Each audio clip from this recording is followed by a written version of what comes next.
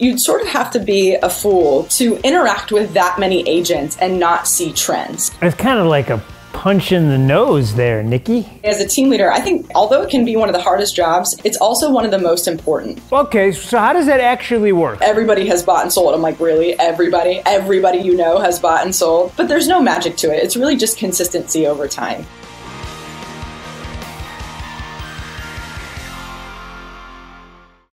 Now, I, I was, I'm lucky enough to know a little bit about your story, only because I'm a fan of the NFL, which is where you got your start. Yeah, uh, yeah. So when I was in high school, I wrote for the like local newspaper that nobody reads, except my mom. Same thing, uh, you know, for for you and your TV show. Your mom and my mom read, watched your show, and read my newspaper articles. And uh, and so I was writing for sports because nobody else wanted to do it, and I have always really enjoyed.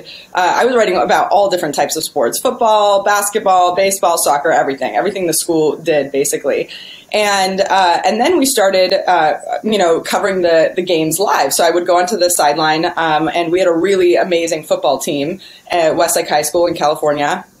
And we had a really amazing uh, football team, and so I would be on the sideline. I'd be writing about you know what I saw and what I was going to report on that night for you know Friday night football. And uh, and you know one day, uh, someone who was doing a local network came up to me and said, "Hey, have you ever thought about broadcast journalism?" And I didn't really know what that was. Like I didn't, I didn't know, you know, uh, that you could do what I did in writing on TV. I'd never really explored that, and so he said, "You, sh- you should think about it. We have a local radio show. Uh, you know, you could do some sign language reporting. It'd be really fun for you. You'd be great at it." And so I basically took everything I was doing for my newspaper and I started doing it um, for this, you know, again, really small local uh, local radio show. And then I took that with me to college. I thought that's what I wanted to do for a living, and sort of by a, a stroke of luck, luck got internships that led to jobs working in uh, you know, the the big stage, so to speak, while I was still in college. So I got to cover NFL games, MLB games, NBA games, and uh, and you know was doing sideline reporting for for these huge teams and national networks. And then, uh, you know, as I started to move forward in that career, like I said, all, all, of this while I was between the ages of like 18 and 20 years old, which is just a really, really special experience, right? Um, for, for someone that young to be able to get to do something like that. And, and I looked up and said, you know, I'd always dreamed of investing in real estate. Like, I don't know why. I was that weird kid who, when I was like 15 years old, I was like, I'm going to invest in real estate. That's really what I want to do. And, you know, I come from a family of entrepreneurs and, and that's the path I knew I wanted to take. And and in short, the non-eloquent way to put it was I looked up and was like, I'm not making any money doing this, and I don't really see a runway for when I'm going to make some money doing this. So I don't think I'm going to do this anymore. So I got the experience, which was amazing um, because it taught me how to talk to people and how to ask the ask the right questions and get people to communicate with me. And I said, uh, you know, I went to the library one day and I pulled some books off the shelf of a bunch of people who had made a lot of money, and they all had one thing in common, and it was real estate. So I thought, huh, I could do that. I'm gonna go. I'm gonna go do that. And so uh, I got a dual major in finance, and from there I graduated and started in real estate development, and and then went forward from there. Well, So I, I, love that, by the way, and, I, and I, I, still believe that when you look up today, residential and commercial real estate, new construction, you name the segment, still offers the greatest opportunity the world has ever known for the entrepreneur that has yes. unlimited mindset. yes, that's what I believe. Yes, absolutely. So how, how do you end up at Keller Williams, and specifically, is there a human? Is it a model? Is it? Do, do you end up? How, how do you get here? Yeah. So I was in Southern California, uh, still at the time when I graduated college and went into real estate development. And all I wanted to do there was become a partner in a firm. Like that's in development, really how you make money. And again, I had this theme where I just, by a stroke of luck and knocking on enough doors, I found a position with a company that was uh, that was really just a startup. It was very early on, and I started with them right out of college. And I was an underwriter for deals. Um, and you and I know what that is, but for anyone who doesn't know what that is, you're literally just penciling numbers all day. Like that's that's your job. You pencil out deals to see if if they would make sense as an investment. And uh, and two days after I got offered partnership at that firm my husband, who was my boyfriend at the time, um, uh, got transferred to Northern California in his job. And I thought, well, I like him, so I'm, I'm going to go with um, because he said I'm definitely going. And uh, and so we moved to Northern California, and I thought, well, what am I going to do now? I have to completely start over. So I either go and do that at a development firm, or I figure out another path. And again, I sort of kept going back to this theme of my my goal was just to invest in real estate. That's really what I wanted to do. And so I started at another. Uh, I got my license and started at another firm, which shall not be named. Um, and I walked into the manager and I said, I said, you know, I, I want to sell 12 houses this year. That's my goal. And she said, uh, oh, honey, you're, you're not going to do that. Uh, oh. you, uh, you're brand new here. You're, you know, you're 22 years old. You're, you're not going to be able to do that. But you could learn, you know, you could just shadow someone and, and, and learn. And I said, well, this isn't the place for me. And it just so happened that I was at Coffee later that day, and uh, and a woman walked up to me and we we just started chatting and she was a real estate agent. So i started asking her questions. I recognized her name and she said well have you ever thought about keller williams? And i had never heard of them before. So i went in literally that day. It was right by her office. And i went in and interviewed with the with the team leader there and said this is definitely the place for me and and I started and I did all the new agent things. This was back in like original Ignite, original productivity coaching, and I was the type of agent that just said, "Point me north." Like someone tell me what to do, and I will do, and I will go and do that.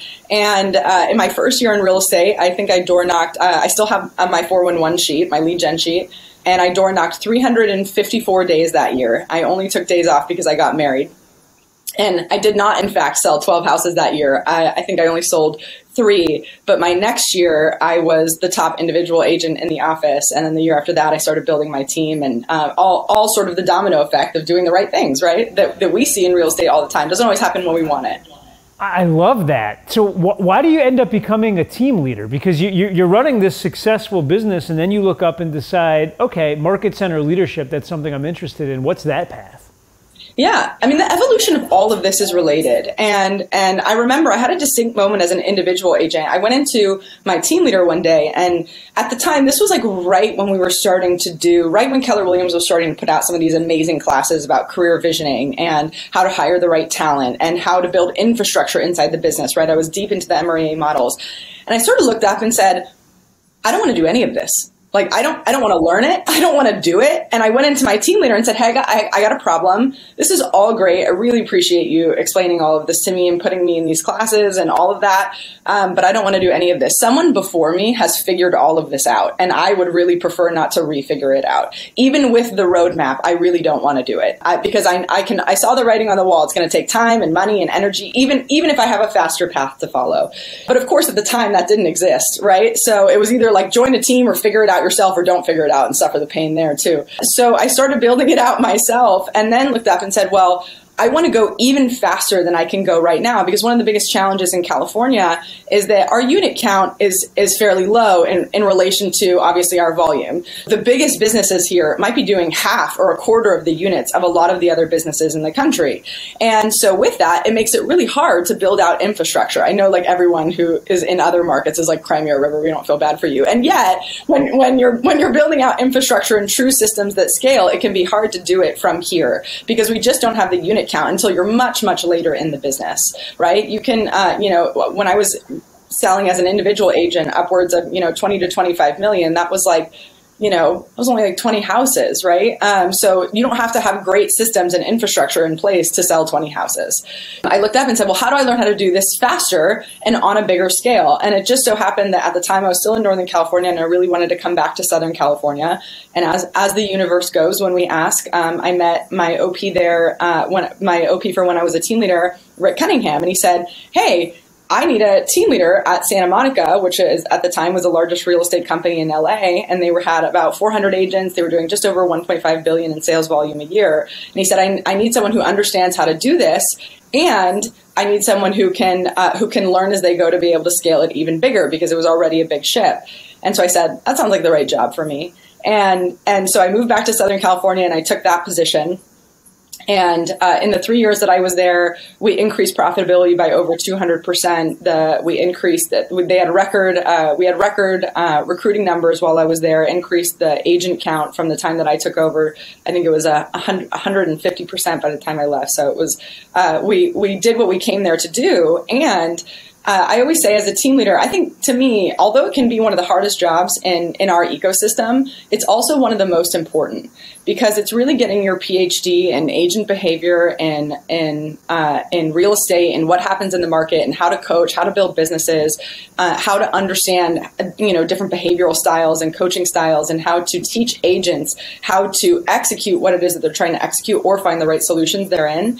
And so I really realized that as as a team leader, and I always say you you sort of have to be a fool to not to interact with that many agents and not see trends right? And one of the trends that I saw coming up was that I had a lot of agents who were a lot like me and would come to me and say, Nikki, I don't, I don't really want to join a team, um, but I need help with infrastructure. And frankly, I don't really want to build it. I don't really have the time to build it. And at the time, I didn't really have anything to offer them. And that broke my heart because I really came from a place of service and wanting to help them. And they didn't understand how to take all these pieces and put them together in a way that was cohesive. And so uh, that's really where the idea for the Lead Syndicate, which is our leverage platform, was born because I looked up and said, these agents are a lot like me when I w- was an individual agent, and they need help a lot like I did when I was an individual agent, and what they're looking for doesn't exist yet. And so I went out and built it. And, and I love that. The, the Lead Syndicate, for those of you all that don't know, is uh, uh it's an organization that's powering market centers by bringing a platform for real estate agents where they actually help market in those agents' names while providing a ridiculously high level of support and leads. I, I, I tried to get it in a sentence, Nikki. Did I get it right? Perfectly said. I couldn't have done it better myself. Awesome. So here's what I want to know. I want to know as you start doing this, what is the one or two things that you started doing for real estate agents at scale that they absolutely loved? And what's the one or two models and systems that are allowing them to go make more money with you than without you? The one that I can't name, I'll give you some real tactical ones that anyone could go out and build or use. But the one that I can't name is that I released them from the pressure of being able to admit that they just needed help and didn't want to be the one to put it together. Because I think to an extent, there was this whole group of agents who were raising their hands saying, we need help. And I always say to, to my own team, if we have a problem, I always say they, will come to me and say, Nikki, we have a problem, whatever it is. And I say, how would you like to pay? And what I mean by that is we always have three options whenever we're, whenever we're, pro, you know, posed with an issue or a challenge or a problem or a system that's broken. We have three options in how we would like to pay. The first option is we do it ourselves right? That's option number one we do it ourselves. And the benefit of we do it ourselves is that no one can ever take the knowledge away from us, right? If I learn how to fix this or I learn how to build this or I learn how, how to create this, no one can ever take that away from me. That's experience, right? It's why we will pay for, to bring on someone into our organization who's already done something before, right? So if uh, the first way to pay is that we do it. The challenge with that way though is that it tends to move a lot slower, right? You would agree that if I'm trying to figure it all out on my own, even, even with models, even with the MREA, even with coaching and classes, it's going to go faster than if I just jumped onto someone else's rocket ship that was already doing it. So the first way, benefit is you get to keep the knowledge. Downside is it's going to go slower. The second way to pay, eh, and what I always say to them is we could hire somebody to come in and do this, right? We could hire someone who already knows what they're doing and they could come in and resolve this problem for us with all of the knowledge they're in right? They could bring their experience, they could bring their knowledge, and they could probably fix this or resolve this or build this much, much faster than we can. But the challenge in any organization is that if we pay for that, well, then we have to hold expenses accountable somewhere else, right? If we spend money here, then we have less money to spend elsewhere. And where this comes up in most agents' businesses is they'll leverage a platform or they'll leverage a team or they'll join a team or they'll hire an assistant or whatever that looks like. And then they don't use the time that they've gotten back wisely, i.e. prospecting. And then they say, up, oh, told you it wasn't going to work. So that's the challenge that most agents face. And the, the benefit to that option is that it goes faster and the downside is that it, obvi- uh, is that it obviously costs something. And then you always have the third option, of course, which is you do nothing and then you suffer suffer the consequences therein. So, uh, you know, but you always have to pay one way. So, I, whenever I, we have a problem, I look at my team and I say, "How would you like to pay? You want us to do it? You want to pay somebody else to do it, or do you want to do nothing at all and we'll pay for that later?" But we always have to pay somehow. Ladies and gentlemen, we just had our first model moment of this interview. This is that time when you pull out a pen how would you like to pay? Option number one, we figured out ourselves. This is going to be slow, but we're going to know how to do it. No one can take it away from you. Option number two, we hire someone that already knows how to do it, but that's going to cost money. Although it's going to go faster, we may have an expense problem. And option number three, which is the one that you always have in life, is you do nothing and you just stay in pain. Nikki, I love the focusing question. So how does that Yeah. end up leading into a business? Right. So then I went to agents and I said, "How would you like to pay?" Right? You. Uh, by the way, I'm giving you permission to stay where you are, but just make peace with the fact that it's going to be painful. And then I'm also giving you permission to do it yourself. But the truth is, if we're having this conversation, you've been here for three years or four years or five years, where you're like, "This is the year I'm going to get my database together." No, you're not. You would have done it by now, right? So then the, the then the only option you have left is left is option number two. But then I just tell them if you're going to go with option number two, then you actually have to use the time that you get back to call more people, talk to more people, create a better client experience. So that's the intangible, right? That's the one that I can't really say this is a model. And yet we've given them permission to decide how they want to pay. And then we hold them accountable to whichever decision they've chosen, right? So if it's option number two, we say, well, you have all this leverage now, use it. Go out there and talk to more people because that's the goal. The other way that, or some of the other models that we're providing that I think have allowed not only the expansion, but for the agents to move quickly is that we do it under their brand. So there's not, we don't have the, the ego pull of like, this is, you know, you're, you're taking over my business. I'm, this is no longer my database. This is no longer my experience. Uh, the client's none the wiser, right? We, we're just there to make them look good. And that's how we, and that's how we behave inside their business. We're there to be infrastructure. We're there to make them look good. Okay, so how does that actually work? So let, us say that I'm, I'm, I'm a member of the syndicate. I have uh, 150 people in my sphere of influence. How are you marketing in my name? Like, are, you- are you making the smart plans? Are you doing all of this? Yeah, we do all of it. So we have a system wherein as long as they, all they need to know how to do is add somebody to their database. And assuming they can do that, and uh, with our plans, they'll get a minimum of 40 touches a year. Everybody in their database. They still have to call their database, but we'll automatically touch that database at least 40 times a year. And, you, and which, what piece of technology are you using to do all this? Command. So you're you're using it all, over the place. You're doing it in their brand. So ostensibly, the, eh, the, the agents in your world still feel like they have ownership of their data bank. They actually do. You're kind of betting on people do business with people they like. They already like these people, so I would be crazy not to market in their names. Yeah, I mean, I'm floored how many agents I talk to. And the first question I ask anyone in an agent interview is how many people do you have in your database? And the numbers aren't small. I mean, a lot of times we only work with individual agents. We don't take on teams. So it's specifically individual agents that we focus on. And sometimes the numbers are 400, 600, 1,000, 3,000, 4,000. And then I get to the next most logical question, which is, well, how much business are you getting out of that database? And they're like, well, none. Uh, everybody has bought and sold. I'm like, really? Everybody? Everybody you know has bought and sold. And then I ask the next most logical question, which is, well, how often are you communicating with them? And then we usually, you know, run around for a little while while they tell me all the ways that they want to communicate with them but haven't. And then we really get down to it might be a couple touches a year. And you and I both know that the models are out there for us to know that even if people know, like, and trust us, trust us, if we don't communicate with them consistently, they won't think of us when they think of real estate. So we come into their database and we make their people think of them when they think of real estate. And last year, of the volume that we did in our first year and sort of our, our I mean, we're still figuring it out. It's a newer model. And last year in our true, you know, first year of business and really figure it out time, um, about 20% of the agent's production in our on, our platform came from our database management, us mining leads that they already had. I absolutely love that. Is there any one touch or two touches out of the 40 that are an absolute no brainer that if I'm not doing, I need to be doing tomorrow? Or is it just a matter of do something 40 times a year? Just something. I don't think I, everybody asks this, and I know I'm sure you get asked this too. It's like, what's I, I, love this when someone's talking about scripts. They're like, hey, I have this person who's not ready to buy. They don't have any money. Their credit their credit score is low, and they just moved here, and they might move away in a year. Uh, how do I get them to buy a house? And I'm like, you don't. you I don't have a magic script for you. They're just not ready. Go talk to more people and find somebody who is right. And I think it's the same for those touches. the The truth is, there's no magic touch. Um, I have definitely some scripts and touches that work better than others, but there's no magic to it. It's really just consistency over time. Cool. Okay, so number one, I got to be marketing to my sphere of influence. I got to do at least 40 touches per year, and I'm guessing this is a mix. Is it is this email, text in a TCPA friendly compliant way, and then phone in a friendly TCPA way? Yes, and we actually give the agent options about how automated they want to be. So some of our agents have no automation, meaning they personally make all the touches, um, and we hold them accountable to that. Some of them have partial automation, where it's just email, no text. Some of them have full, so they have options. And yes, it's all, all of the above that you just said in the in the TCPA compliant way. I love that. Okay, cool. So if twenty percent of your business is coming directly from the database management that you're doing for the agents, that implies that eighty percent of your business is coming from something else. What is that thing? About 25 20 to 25% is coming from our lead generation that we bring in and the rest is is a mix of their lead generation them mining uh, you know additional leads through their lead generation levers whatever that looks like. Okay well then talk to me about the 25% coming from your lead generation.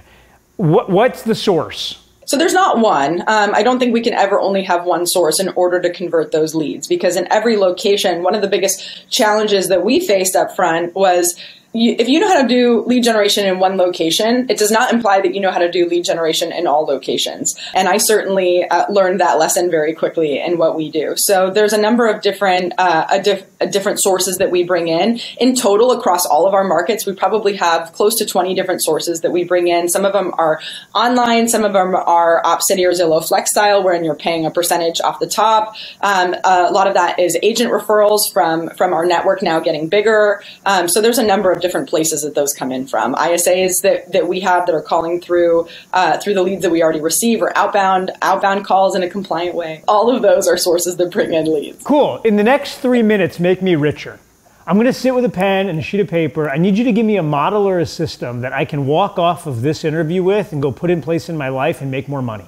The, the fastest way to do that, Jason, is I would take you through how you'd like to pay right? Like first I have to know that. Are you willing to do it? Are you willing to do the activities? Because if you're an agent looking at me and you're an individual agent and you're getting to the, to the ceiling of achievement wherein you've hit your maximum, by the way, that's different for every agent. Sometimes that's going to be 5 million, sometimes it's 10, sometimes it's 12. Sometimes you'll make it all the way up to 20. You'll be losing your ever loving mind and you don't see your family, you don't see your friends, but you're selling tons of houses and we're all cheering for you, but you hate your life, right? So wherever you're at in that journey, I'm going to ask you, how would you like to pay? Because you you have to figure this out somewhere, and and you have to make peace with the fact that you're going to have to figure it out on your own if you choose option number one. And, and if you do that, then I would say go directly to Maps, find the best coach that you can find to help you build infrastructure, take you from the beginning, get into career visioning, read the Millionaire Real Estate Agent once, then do it again and again and again and again and again, and start to build some infrastructure inside your business. But if you know, if you can have an authentic conversation with yourself and say, you know what, I've spent six years saying the same thing that I'm going to, this is the year I'm going to do it, and I still haven't done it, I can make peace with the fact that I just don't want to do it. Well, then I would say you need to pick option number two and then decide from there which of these amazing platforms that are available to you inside Keller Williams is right for you, right? Then just go on some interviews and figure out who feels like the best fit and who's going to provide you the best infrastructure for your business. Or make peace with the fact that your option is number three and you're going to do nothing and you're going to keep complaining about it and you're going to stay where you are. It's kind of like a punch in the nose there, Nikki. Like that, that's some tough talk. I mean, at the end of the day, like I was waiting for you to be like, you buy internet leads, make sure you contact them in five minutes. But you kind of went existential on me, and th- that's a really big question. It sounds like that's a focusing question that you use for your whole life in everything that I do. Because here's what I've made peace with in building and running a big business. I, I, had a great conversation yesterday with my coach, and and he asked me. He said, "What are you going to do when you're at 200 locations?" He's like, "Every everything might work right now, or what are you going to do when you're at 500 agents?" He's like, "Yeah, this is all great, and you're figuring it out as you go." And I said, "Well, to me." Figuring out solutions for five agents is not a whole lot different than figuring out solutions for 50 or figuring out solutions for 500 or 500,000. The principles are the same, right? I always say if you're if you're building a house, then the principles of building a house versus building a skyrise are not all that different. If you're building the skyrise, yeah, your foundation has to go deeper. You're going to need more material, better technology, more people, but the base principles aren't all that different. And I think solving any problem in your business is exactly the same or in your life. I, I love this idea that you have a coach. Is that now, is this what you went on a quest throughout the world and wandered through the desert until you found one, or did one show up in your life? A little bit of both. I, I you know, I was on a quest. I think the, the beauty of coaching and the beauty of a great coach, like I've had a number of coaches fire me and say like, Hey, you're, you're past where I'm the right fit for you. Time, time for you to go find somebody else. And I had that early on when I was building out the lead syndicate and I had, you know, a coach I had been with for years say like, you're, you're past the point that I'm the right fit for you. Go, go forth and find someone else. And so I went on that quest and found someone who, who could just ask me the right questions to guide me forward. Right. Um, you know, it's hard when you're not really modeling after anything. A lot of my infrastructure I can model. It's not you know so, so, dissimilar from a team or an expansion team but a lot of what we're doing is new and the problems we were solving were new. And so i needed someone to hold me accountable to not feeling sorry for myself uh, when i was solving the big problems that i totally wrote you know i raised my hand and said i'd like to be the person to solve this. And i needed the you know the coach who was going to be able to be my mirror and say you decided to be here. You chose option number one uh, stick with option number one right? I love that. There's a pattern that i see with almost everybody that i'm lucky enough to speak with they all have coaches. If you don't have one, get a hold of Maps, figure it out. But the fact of the matter is, even the best players in the world play better and win more championships when they have a coach in their corner. Nikki, what are you reading right now? What are you listening to podcast? What documentaries are you watching? And what are you watching on Netflix? Uh, so right now I'm reading A Beautiful Constraint, which if you haven't read is a, a great book. It was actually referred to me by uh, by Carl Liebert and and really has helped to put into perspective just the just the way we approach problems, right? Just the the, the mentality through which we approach problems or, or challenges or breaks in systems or whatever. Uh, which, if you're running a big business, I would say that that's probably a good eighty percent of your job, right? When you walk into the door every day. Um, I'm also uh, also reading, at, well, rather I should say, I'm listening to Masters of Scale, which has been really powerful for me. Why? It's all perspective. I think when you're when you're building a business of any size you sort of get into this vacuum and i have the privilege of knowing people like you and some of my other incredible friends that are running big businesses in keller williams that i can call them and say like i'm ha- uh, i'm struggling. And and yet uh, reading something like that helps you to understand that all the businesses of all sizes and success levels there's sort of this uh, there's sort of this evolution that that the team goes through wherein you feel like you're in a vacuum right? Like you feel like you're trying to figure this all out by yourself. And then when you read something like that, you're like, oh my gosh, I'm going through the same iteration that every great entrepreneur before me has gone through. So I'm just going to st- stick it out and learn from the people who came before me and, and just know that I'm in this period of this iteration, right? Or that I need to ask these different questions or take a step back and look at it from this perspective. So those types of books really help me. Perspective is an important thing for me. I love it. Nikki, at the end of every one of these interviews, I try to name it. But the name only works if you agree to it. So if you hate it, you got to tell me. But I got to tell you, I okay. think we call this one a question for all entrepreneurs. How would you like to pay? Yeah, I love it. We got a name. Ladies it. and gentlemen, the entrepreneur is Nikki Miller. The company is the lead syndicate. The model is the question How would you like to pay? You only have three options. We hope you make the right one. And there's no wrong one. You do you. Nikki, thanks for joining us. Grab the mouse and just click here. I know you want more of these.